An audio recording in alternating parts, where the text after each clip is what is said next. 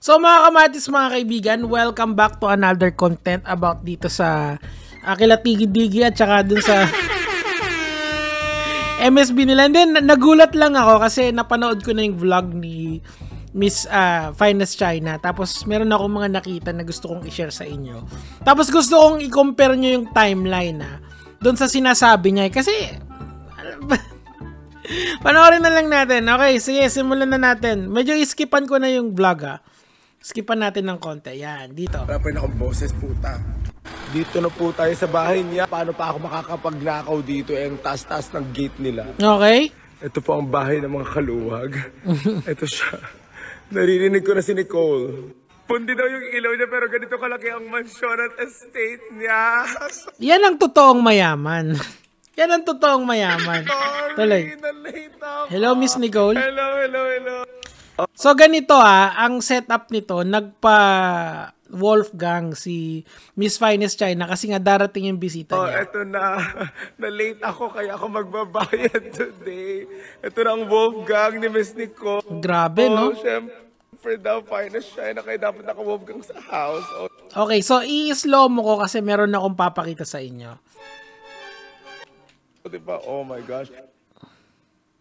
First time ko matutry ang Wolfgang, guys.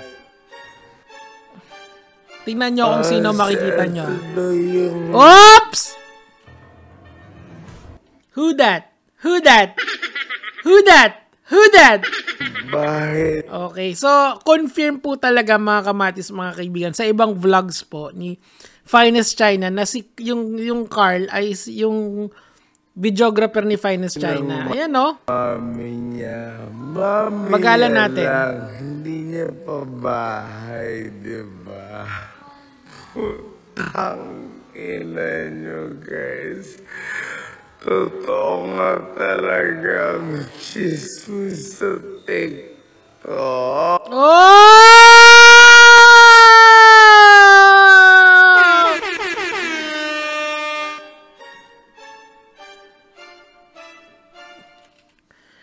Ngingiti ka pa ha? Ngingiti ka pa. Bagalan natin ha. Oh, Op! Op! so talagang videographer ni Finest China talaga. Etong si Carl. Si... Eh, si Millionaire. I wanna be a millionaire. So freaking bad. Kung ano-ano na lang ang sasabihin ko. Tagahawak lang pala ni Files China ng camera itong batang ito. And it gets worse mga kamatis mga kaibigan. Kasi ano to eh, parang ang nangyayari yata dito, ba, ba- paano kayo naging milyonaryo sa MSB or dyan sa ginagawa nyo? Tapos, ah, ma- malaman-laman ko, nagbibit-bit lang pala kayo ng camera ni Miss Finest China. Ang labo, di ba? Yun o. Oh. Ngingiti na yan. Ngingiti na yan. Oh, nahagap ka lang. Di ka kasali, boy. Magtrabaho ka dyan. Trabahante kita. So, nakakaano, no? Parang nakakahiya, no? Ayun na. Ayan na yung my gosh, steak. Wolfgang. Mm, Hello. Kita mo, yan ang mayaman, di ba? Hindi nila kailangan mag-flex kasi alam mong mayaman sila. Biruin mo, Wolfgang dinala sa bahay. yan ang mayaman, di ba? Ang tunay na mayaman. O so ngayon, mga kamatis sa mga kaibigan, siguro naman halatado na siya na yan. Pero babagalan natin for the sake of argument, di ba? Ngayon, ang nakakatawa dito mga kamatis, kasi yung mga yung family ni Finest China, nagfa-fine dining sila. Ibig sabihin sila yung guest. Yung mga nakatayo, yung mga julalay. julalay ka lang pala ni Finest China. Ah, ako mga kamatis ha, siguro kay Kong TV pwede pa, pero syempre hindi gagawin sa akin ni Kong yun eh, kasi tropa kami si sino pa ba? Si Doc Adam siguro. Pa, kaso kaibigan pa rin kami. Hindi ako magpapabayad sa kanila. Pero eto kasi, ki- kitang-kita mo yung level na kung sino yung aliping sanggigilid. Literal na nasa gilid eh. Parang ito, patuloy natin. May live Ayan. Oh, yaman ni popcorn. Kitang kita. Kitang kita ako. Teka lang, i-mute ko lang si Finest ha, kasi parang ano eh. Ayan, oh, yaman ni popcorn.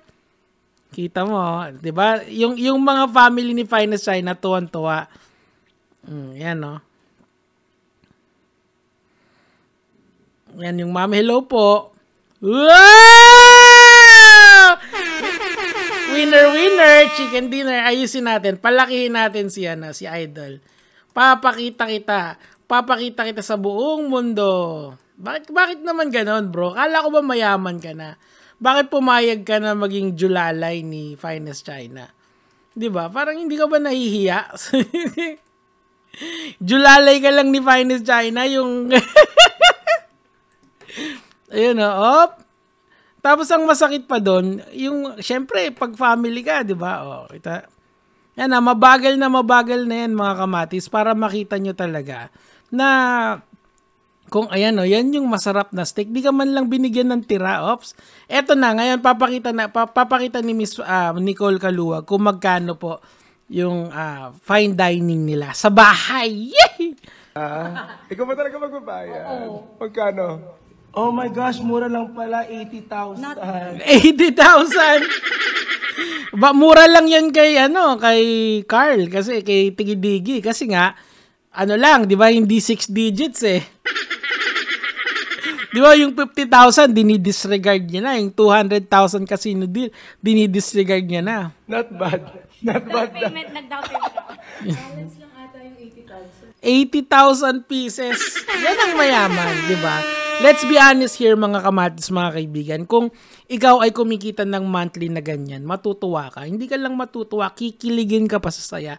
You will jump for joy. So, mga kamatis, eto kasi yung papakita ko sa inyo yung point nitong video na to. Hindi naman natin kawalan yan, di ba? Oo, basta doon sa mga pending interviews ko, bro sa mga pending closing ko, wag mo na siyang isama pag hindi siya 100k, okay? Kasi masasayang lang oras natin dyan. At ayoko mag-suffer yung team ko para sa mga ganyan. At mas...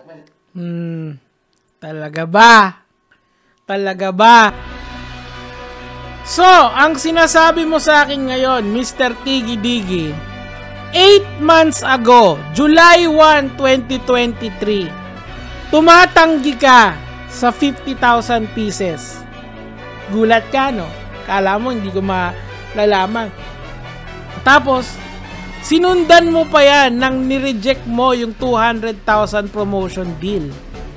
Ngayon, sabi mong ganun, earning my first million from MSB. Ayan, nakapamburol ka pa.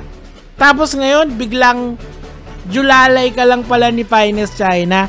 Kitang-kita ang ebidensya. Hindi mo maitatago hindi mo mapagkakaila na ikaw ay kasama dito sa dinner kaso ikaw ay lang ay julalay aliping sanggigilid na tigahawak ng kamera ikaw ay nagtatrabaho para sa sahod biruin mo nagtuturo ka kung paano maging hindi julalay yung pala ay julalay ka lang pala ni Finest China ano ang dahilan magkano ang sweldo ni Finest China 6 digits ba? Dahil pinansin mo? Oh! Bistado ko na kayo. Alam ko na ang hilatsa ng pagmumukha mo. Kaya ngayon, tol, kaya ako, hindi, seryoso muna tayo. Kaya ngayon, ginawa ko tong content na to mga kamatis. Kasi, ah, may nakita akong ah, community postings nitong tao na to. Papakita ko sa inyo. So eto, tingnan nyo to mga kamatis mga kaibigan. Ito yung Hustlers community niya kung saan dapat nagpo-post siya everyday, ina-update niya yung mga estudyante niya. Pero wala eh, mukhang dead page na rin eh. Sila-sila na lang naniniwala rito. Tapos wala pa masyadong nagpo-post, di ba? So, ang, point dito kasi, kung talagang malakas tong business na to, eh di sana ang daming tao rito. Sana tinatao to. Eh hindi naman, di ba? Ito tingnan natin yung current my day niya. Ayan, puro praise release ng praise release eh. Oh. Puro praise release yan. ba? Eh Puro praise release eh. Syempre, pag binayaran mo, tuturuan ka. Pero ang tanong, kikita ka ba? Eh kasi 'di ba may mga pangako sila, nakikita sila. Anyway, mga kamatis, mga kaibigan, ang point dito, bago nyo ilagay yung pera nyo sa ganito, pag-isipan nyo mabuti. Kasi baka kasi sila sila lang yung yumayaman dyan eh, kayo yung naiiwan eh. Baka swertihin kayo, next time sama kayo ng mayaman, tapos tumayo kayo sa, sa gilid at magintay ng steak. Yun lang naman yung sa akin for today mga kamatis, mga kaibigan, gagay mga lods.